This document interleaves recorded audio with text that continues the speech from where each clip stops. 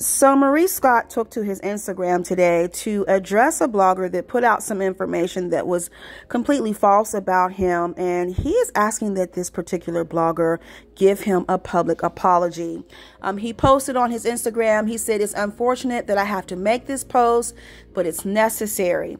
Content creators have a responsibility to make sure they don't run afoul of the law when they post about people. There's a line where free speech stops and defamation starts, and a good blogger knows the difference. They should also know how the use of buzzwords like allegedly and in my opinion work as well, because it can create unnecessary confusion and danger for their subjects. You don't have to like me, but it's unwise to run afoul of the law while doing so. Correct it, or a fool and their money will soon part. Maurice Jefferson Scott, Sr., Esquire.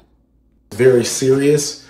Um, I've recently run across uh, a blogger who's been putting false information out there, and I wanted to make sure that no one is misled by this information.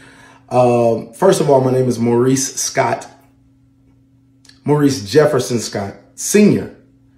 And um, if you're going to do research on a Maurice Scott, make sure that you're you're researching the right person. I'm Maurice Jefferson Scott. Uh, I do not have a criminal history. Um, I've never been arrested. I don't have anything more than a citation or a traffic ticket. That's the most I have.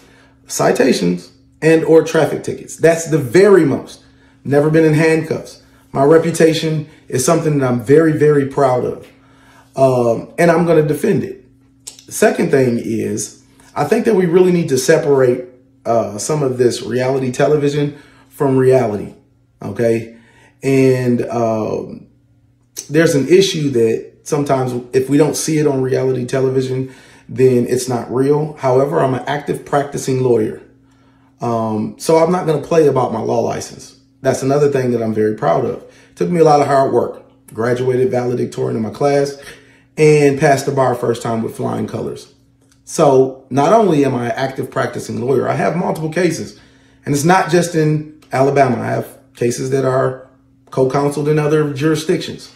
Um, states as well. Okay. So just want to make sure that you guys understand I'm going to I'm going to protect uh, both of those. So this is one of the things that I want to encourage like bloggers to do. Do a little better research before you attach someone's name to a criminal history. It's very important that you do your homework. It's actually reckless and dangerous if you don't.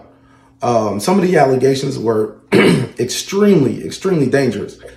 Uh, attaching my person to that criminal enterprise puts not just me at danger, because there may be other people that were involved that think that now I'm that target. So it's not just me that you might put in danger. You might also put my family in danger. So this is something that's very, very serious to me. Um, even further, uh, I normally don't get on social media and go back and forth with bloggers or try to correct narratives or whatever. But sometimes when, you know, we can't separate reality from reality television and lines that get crossed, then I'll actually step in and, address this. Um, so, in closing, I'm very, very proud of my reputation. Um, and I spoke to Carlos King earlier today. And you know what? Carlos said, maybe before you just actively just sue them, how about you give them an, op an opportunity to retract their statement? And I'm going to go even one further, right? Because that's actually a good idea uh, being in this business for as long as Carlos has been in the business, you know, he's seen all kind of, you know, stories and narratives and everything else. But um, I'm going to go one further and give you an opportunity to retract. And I want a public apology for those two uh, situations. Anyone that's speaking negatively about those two situations, I'll give you uh, 10 days. Take the stuff down and I want a public apology behind it because it's false information and you could have done a much better job. And it was called into question many a times on your own post. It was called into question the accuracy of the information and you recklessly disregarded that information. You also posted it multiple times and you shared the information as if it was true.